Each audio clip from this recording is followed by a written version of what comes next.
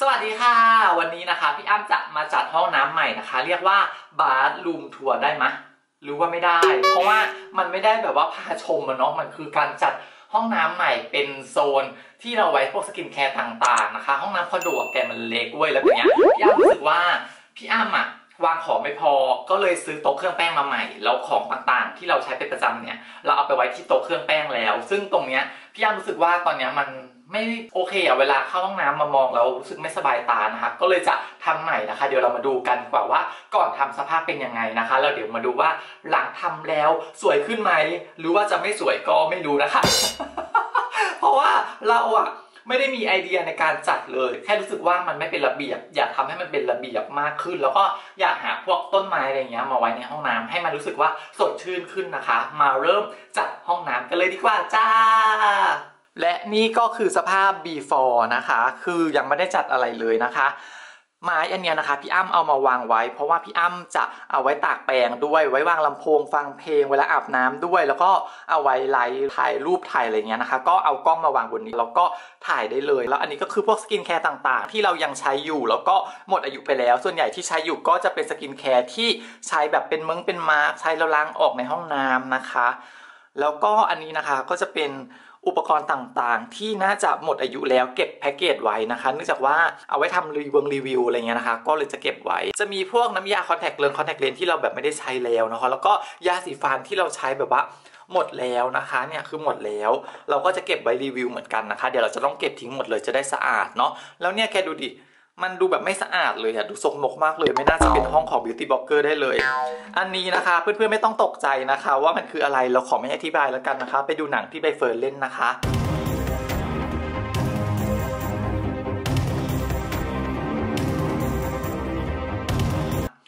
แล้วก็อันนี้นะคะก็จะเป็นพวกโฟมล้างหน้าเนาะพวกโฟมล้างหน้าอะไรเงี้ยเราจะต้องเอาไว้ตรงนี้นะคะแกดูดิมันไม่โอเคเลยอะแล้วอันนี้คือตู้นะคะ ตู้ที่เราเอาไว้เก็บของข้างในได้มันจะได้ดูไม่รกเนาะของข้างในก็คือแบบว่าประมาณนี้นะคะ เดี๋ยวเราจะจัดใหม่หมดเลยนะคะ แล้วก็ข้างบนนะคะ เราก็จะมีอุปกรณ์ต่างๆ เต็มไปหมดเลยนะคะ คือนี่ทิ้งไปเยอะแล้วนะคะ เดี๋ยวเราจะต้องมาจัดใหม่เลยนะคะ ข้างล่างก็จะมีพวกอุปกรณ์ล้างห้องน้ำเนาะแล้วก็นี่แก มีชั้นที่แบบเอาไว้วางของตรงนี้นะคะ ซ่อนไว้อีกชั้นหนึ่งด้วยตอนแรกกองน้ำที่คอนโดอะมันไม่ใช่อันนี้เว้ยแกมันเป็นอันกลมๆอะที่เขาแถมมา ซึ่งเราไม่ชอบนะคะ เรารู้สึกว่ามันไม่โอเค เราก็เลยไปซื้อก๊อกใหม่มานะคะ เป็นก๊อกสี่เหลี่ยมเรารู้สึกว่าเราชอบอะไรเหลี่ยมๆนะคะ เราใช้งานแบบดูดิน้ำไหลแรงมากเลยอะประทับใจมาก เริ่มต้นเดี๋ยวพี่อ้ำจะเก็บของทุกอย่างใส่ไว้ในถุงก่อนนะคะ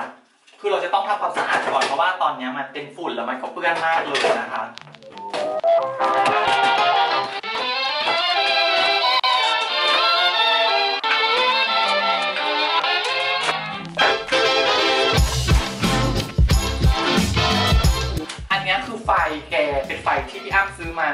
ในเว็บ AliExpress นะคะ เวลาจะใช้งานอะแกแค่เสียบแบบว่า USB เข้าไปอะแล้วก็กดเปิดอะอุ้ยอันนี้ แล้วก็กดสวิตช์อย่างเงี้ยปุ๊บเนี่ย แล้วมันก็ปรับระดับได้นะแก คือมันสว่างมากเลยอะแอมชอบมากเลยนะคะ อันนี้นะคะ คือดีมาก แนะนำเลยนะคะ ราคาไม่แพงด้วย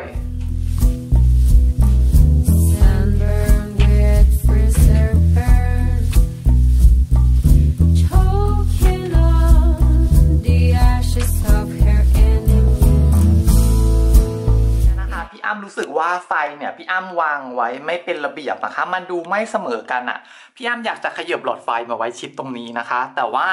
มันแน่นนะเอาไม่ออกเดี๋ยวจะต้องหาวิธีเอามันออกมาคราบอันเนี้ยนะคะ เราใช้กระดาษทิชชู่เปียกเช็ดแล้วแต่ว่ามันไม่ออกนะคะ พี่อ้ำจะใช้ฟองน้ำของไดโซนะคะ ชุบน้ำนิดนึงนะคะแล้วก็ขัด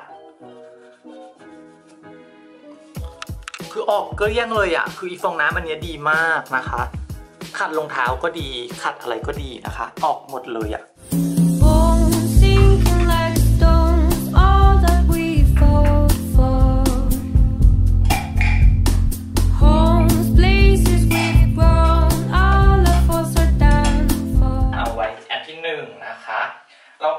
ต่อมาจะเป็นของ BK มาจะเป็นตัวเจลลี่บอลใช้ในการสครับหน้า แล้วก็อันนี้เป็นมาร์กหน้าแก้สิวนะคะ ก็ยังเก็บไว้ก็เช็ดให้แห้งก่อนเพราะว่าเมื่อกี้ล้างมันนะคะมันจะเปียกๆนิดนึง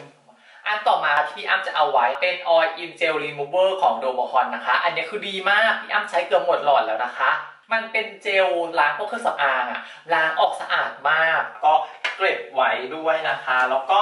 อันต่อมาพี่อ้ำจะเอาไว้ก็คืออันนี้ของ s a n t o r i Spa นะคะเป็น1มินิเดริโกมาใช้มาเพียง 1 นาทีอะแกคือไวมาก ก็เก็บไว้นะคะ พี่อ้ำเป็นคนที่ชอบให้ห้องมีความหอม ไม่ว่าจะเป็นห้องนอนหรือว่าห้องน้ำของ Miniso นะคะ 199 บาทกลิ่นหอมมากเลยแกแล้วแพ็กเกจก็ดูสวยหรูดูแพงมาก แนะนำเลยมาวางแบบนี้นะคะมันก็จะทำให้ห้องเราดูสวย แล้วก็ห้องน้ำเราหอมขึ้น อันต่อมาจะเป็นเทียนหอมพี่อ้ำซื้อมาจาก Bath and Body Works นะคะ แกมันหอมมาก กลิ่นเป็นวานิลานะมาวางตรงนี้ วางไหนที่อยากจะได้ feel บรรยากาศดีๆ แล้วก็สามารถจุดให้ห้องเราดูแบบสวยงามขึ้นได้นะคะ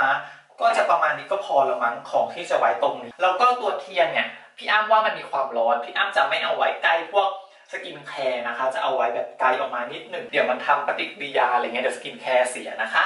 และนี่คือห้องน้ำที่เราจัดเสร็จเรียบร้อยแล้วนะคะ หน้าตาก็จะประมาณนี้ รู้สึกว่าเป็นระเบียบขึ้นแต่ไม่รู้ว่า สวยหรือเปล่านะคะ แต่ว่าพี่อ้ำชอบนะรู้สึกว่าอยากใช้ห้องน้ำมากขึ้น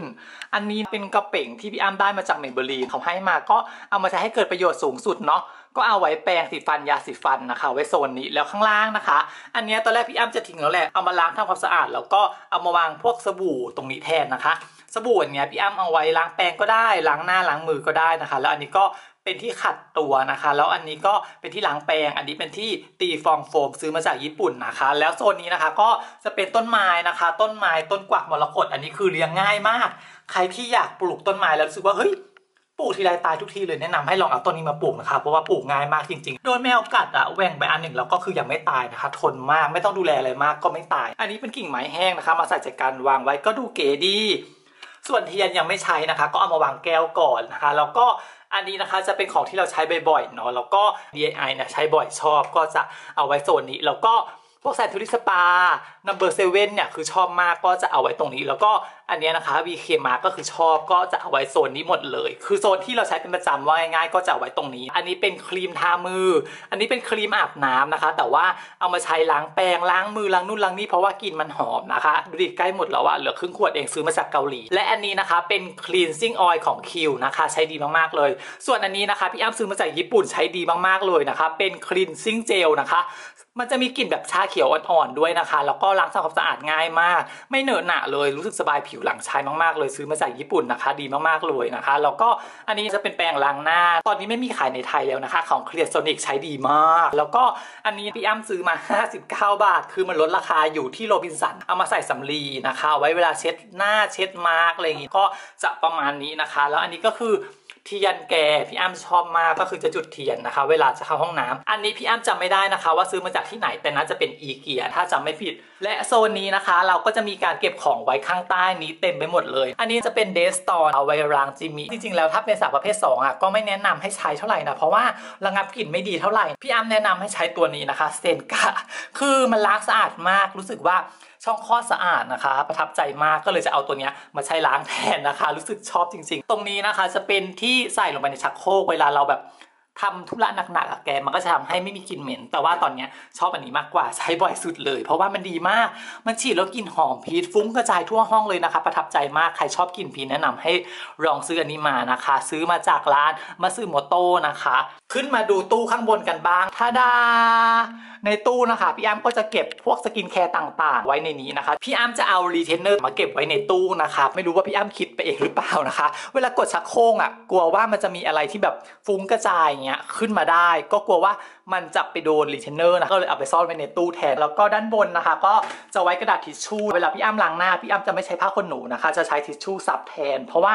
ใช้อันเนี้ยแล้วสิวลดน้อยลง เมื่อก่อนสิวขึ้นเพราะว่าผ้าเช็ดตัวสกปรกแต่พอใช้อันเนี้ยแล้วสิวก็ลดน้อยลงนะคะ แล้วก็นี่เป็นของที่มันมีความสูง ไม่สามารถเอาเข้าไปในตู้ได้ ก็จะเอามาไว้ข้างบนแทนก็จะประมาณนี้นะคะ ห้องน้ำของเราพี่อ้ำก็ชอบนะโดยส่วนตัวเรารู้สึกว่าอยากใช้ห้องน้ำมากขึ้นประทับใจมากขึ้น แต่อาจจะไม่ถูกใจคนอื่นก็ถูกใจคนอยู่ละกันเนาะ พี่อ้ำมีการย้ายไฟนะคะ จากตรงนี้นะคะ ไปไว้ตรงนู้นแล้วตอนเนี้ยมันเป็นคาบกาวแกเราไม่สามารถจะแกะออกได้อะเราไม่รู้ว่าทำยังไง ถ้าใครรู้คอมเมนต์บอกพี่อ้ำหน่อยที่ใต้คลิปนี้เลยนะคะ เดี๋ยวพี่อ้ำจะได้เอามันออกไปมันจะได้สวยขึ้นตอนนี้รู้สึกแบบไม่ชอบเลยอะและนี่คือน้องๆที่ไม่ได้ไปต่อกับเราในครั้งนี้ ส่วนใหญ่จะหมดอายุแล้วก็ใช้หมดแล้ว ที่ใช้หมดแล้วนะคะ ก็จะมียาสีฟันมาวิทคือพี่อ้ำชอบมากเลยนะคะ แต่ว่าราคาสูงนิดนึง แล้วก็อันนี้เป็นฮาดาลาโบนะคะ อันนี้ยังไม่ได้ใช้เลยแต่ว่าหมดอายุซะก่อน อันนี้สั่งมาจากไอเฮิร์ใช้ไปไม่เท่าไหร่เลยนะคะ มันก็หมดอายุซะก่อนเพราะว่ามันหลอดใหญ่มากเซวาคือชอบมากใช้หมดไป2อสาขวดแล้วนะคะ แล้วก็อันนี้เป็นโฟมล้างหน้าเหมือนกัน Sulwhasoo นะคะ แล้วก็เนี่ยสครับเอยอะไรเอยนะคะ ใช้ไม่ค่อยทันนะแกคือมันเยอะนะคะ แล้วก็กันแดด Biore อุ้ยเยอะอะแกนี่อันนี้คือ rose face mask อันนี้คือชอบมาก รักมาก ใช้บ่อยมาก ใช้จนหมดไปแล้วสองกระปุกนะคะ อันนี้ก็คือคิว อันนี้ก็คือชอบมากนะคะ ใช้หมดไปประมาณ 3-4 อันแล้ว ลดรอยด่างดำต่างๆนะคะ คือดีมาก อันนี้นะคะยังไม่ค่อยได้ใช้เลยเพราะว่า เวลาทาไปแล้วรู้สึกว่าหน้ามันขาวเกินนะคะ มันลอยๆหลอกๆ ก็เลยไม่ได้ใช้ต่อนะคะ อันนี้ก็คือใช้ดีมากของ Domohorn นะคะ คือดีมากอะแกใช้จนหมดแล้ว แล้วก็ Dr.Jill นี่ก็คือใช้จนหมดแล้ว อันนี้ก็ Dr.Jill ใช้จนหมดแล้วเหมือนกันนะคะ แล้วก็อันนี้นะคะเป็น BK Acne Serum ใช้จนหมดแล้วนะคะ อันนี้ของ Origins ทารอบดวงตา แล้วก็อันนี้เป็นของอเวดาคือใช้ดีมากชอบมากเลยนะคะ ใช้จนหมดแล้ว เนี่ยก็ประมาณนี้นะคะ มาวิทนี่มี2อสามหลอดเลยนะคะ อันนี้เป็นยาแต้มสิวของคิวใช้ดีมากแต้มสิวยุบไปมาก อันนี้ใช้จนหมดแล้วนะคะ คือเนี่ยก็ประมาณเนี้ยนะคะ สิ่งที่เราทิ้งไปนะคะ คือเยอะมาก ไม่รู้ว่าถูกใจเพื่อนๆหรือเปล่าแต่ว่าถูกใจพี่อ้ำมากเลยนะคะ เพราะว่าก่อนหน้านี้มันค่อนข้างไม่เป็นระเบียบนะคะ แล้วก็ดูสกปรกดูไม่น่าใช้งาน ดูแบบมันยุ่งเหยิงของเต็มไปหมดเลยนะคะ จะหยิบอะไรใช้ก็หายากนะคะ แต่ว่าตอนเนี้ยมันค่อนข้างเป็นระเบียบนะคะ แล้วก็มอง เห็นว่าอะไรอยู่ตรงไหนสามารถหยิบใช้งานง่ายขึ้น แล้วก็ดูเป็นระบบระเบียบมากขึ้นนะคะ ดูน่าใช้มากขึ้น คือพี่อ้ำรู้สึกดีมากนะคะพี่อ้ำเนี่ยไม่ได้ซื้ออุปกรณ์ต่างๆเพิ่มเลยนะคะ เอาของที่มีอยู่เนี่ยมา mix and match นะคะทำให้มันดูเป็นระเบียบขึ้น ซึ่งถ้าเราอะไปซื้ออุปกรณ์ต่างๆเพิ่มเนี่ยมันอาจจะสวยขึ้นก็ได้ แต่เรารู้สึกว่าเราอยากประหยัดตังค์นะคะ ก็เลยเอาเท่าที่มีแล้วกันก็จะได้ประมาณนี้นะคะ ถ้าเพื่อนๆชอบคลิปนี้นะคะ ก็ฝากกดไลค์กดแชร์กด subscribe YouTube Channel ให้พี่อ้ำด้วยนะคะ ถ้าใครอยากให้พี่อ้ำทำคลิปอะไรนะคะ ก็คอมเมนต์บอกพี่อ้ำที่ใต้คลิปนี้มาได้เลยนะคะ เดี๋ยววันนี้พี่อ้ำขอตัวลาไปก่อนนะคะหิวข้าวแล้วยังไม่ได้กินอะไรเลยบ๊ายบาย